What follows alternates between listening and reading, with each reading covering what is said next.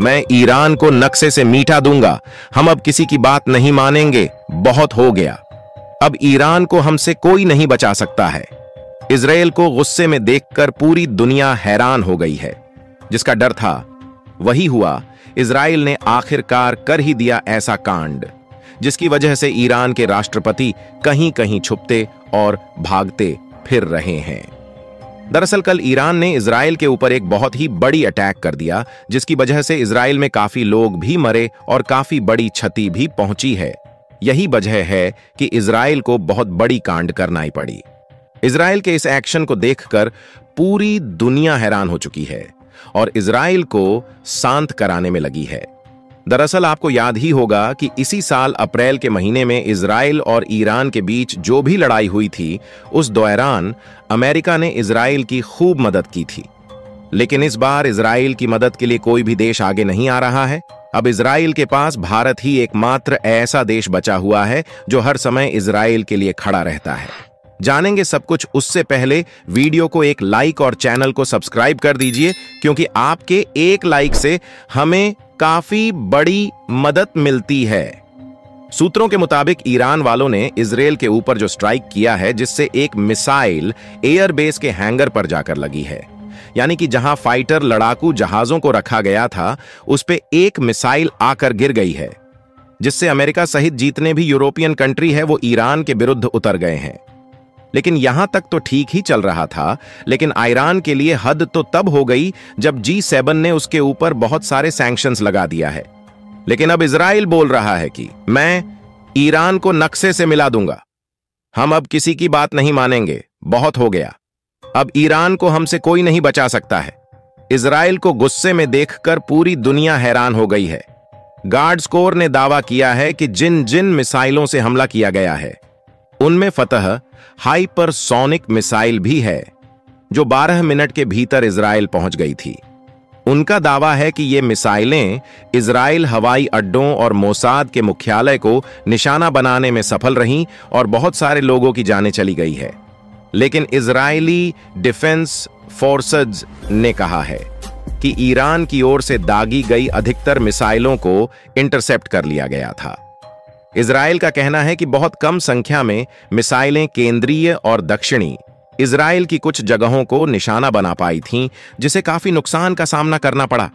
इस्माइल हानिया की मौत के बाद ईरान ने एक तरह से धैर्य का इस्तेमाल किया था, लेकिन अपने नजदीकी सहयोगी हिजबुल्लाह पर इजरायली अटैक से शुक्रवार को नसरल्लाह और निलोफरशां की मौत हो गई थी, जिससे उसके लिए ये खबर अपमानजनक बन गई। और अपना बदला लेने के लिए इसराइल पे हमला कर दिया। हिजबुल्लाह एक शिया इस्लामी ग्रुप है जो कि लेबनान की सबसे ताकतवर हथियारबंद फोर्स बनाया है।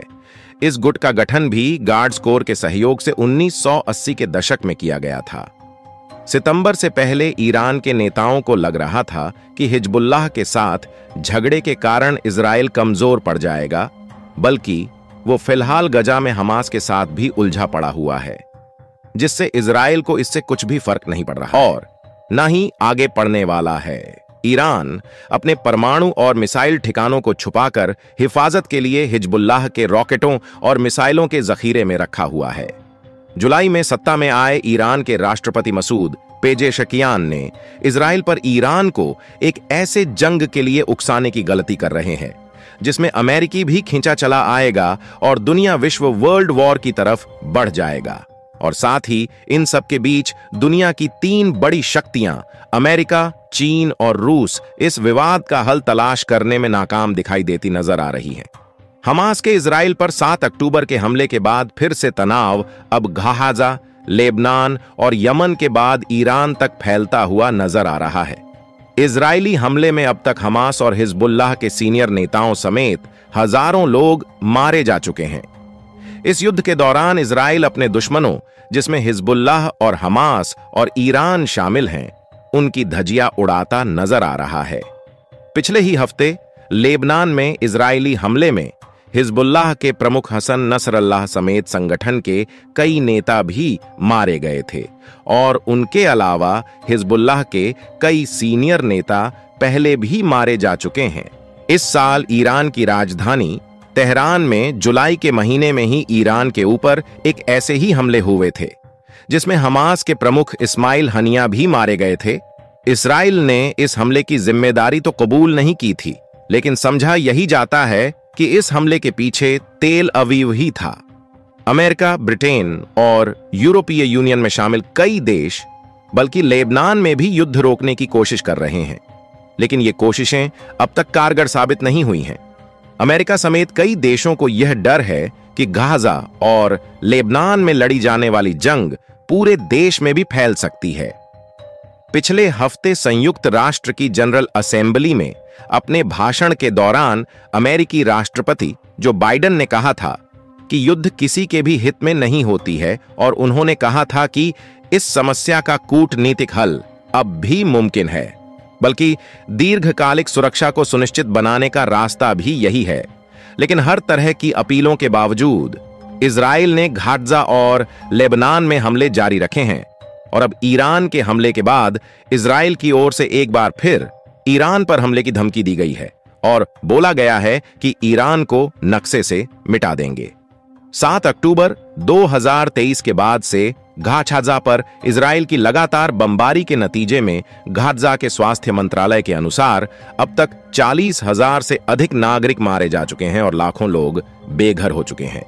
इसी तरह सितंबर 2024 में लेबनान पर इजरायली हवाई हमले में मारे जाने वालों की संख्या एक हज़ार से अधिक है। दूसरी ओर, गहाड़जा में। पिछले एक साल से अधिक समय में हमास के खिलाफ की गई जमीनी कार्रवाइयों के दौरान इसराइल के दर्जनों सैनिक मारे गए और घायल हुए हैं। हिजबुल्लाह की ओर से पिछले साल 7 अक्टूबर के बाद से इसराइल पर रॉकेट दागे जाने का सिलसिला भी जारी रहा और इसराइली प्रधानमंत्री का दावा है कि पिछले एक साल के दौरान हिजबुल्लाह की ओर से इसराइल के विभिन्न इलाकों में कुल मिलाकर 8000 से अधिक रॉकेट दागे जा चुके हैं। गाजा की लड़ाई की शुरुआत के बाद से लाल सागर में इसराइल आने और जाने वाले समुद्री जहाजों को निशाना बनाते आए हैं। इससे पहले इस साल अप्रैल की शुरुआत में ईरान के रिवॉल्यूशनरी गार्ड्स के दो सीनियर कमांडर सीरिया की राजधानी दमिश्क में ईरान काउंसिल खाने पर होने वाले मिसाइल हमले में मारे गए थे।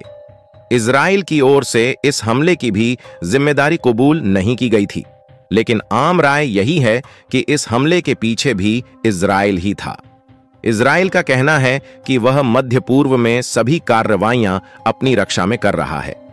पिछले दिनों संयुक्त राष्ट्र में अपने भाषण के दौरान इजरायली प्रधानमंत्री नेतन्याहू का कहना था कि इसराइल शांति चाहता है, मगर फिर भी हमें वहशी दुश्मनों का सामना करना है, जो हमारी तबाही चाहते हैं, और हमें उनके खिलाफ अपनी रक्षा करनी है, उन्होंने ईरान की तीखी आलोचना करते हुए कहा कि इसराइल ईरान से मिलने वाले खक्षी दरे से निपटने के लिए सात अलग अलग मोर्चों पर अपनी रक्षा कर रहा है। उन्होंने अपने भाषण के अंत में कहा कि इसराइल यह जंग जीतेगा, क्योंकि यह जंग जीतने के अलावा हमारे पास कोई चारा नहीं है। अमेरिका इसराइल और हमास के बीच युद्ध बंद करवाने के लिए वार्ता की कोशिश भी करता रहा है, लेकिन यह वार्ता अब तक गतिरोध का शिकार है।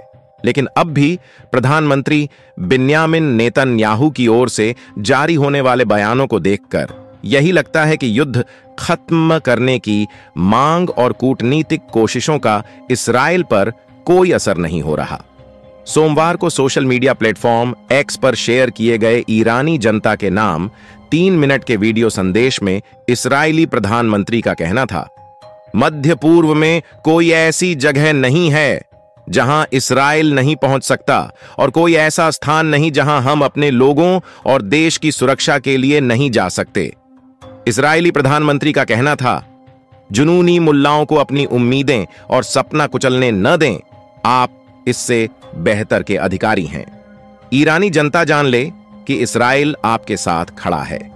हम साथ मिलकर खुशहाल और शांतिपूर्ण भविष्य देखेंगे। ईरान के मिसाइल हमलों के बाद यह सवाल पैदा होता है कि दुनिया की बड़ी शक्तियाँ आखिर इस विवाद में शामिल पक्षों को युद्ध रोकने के लिए तैयार क्यों नहीं कर पा रही।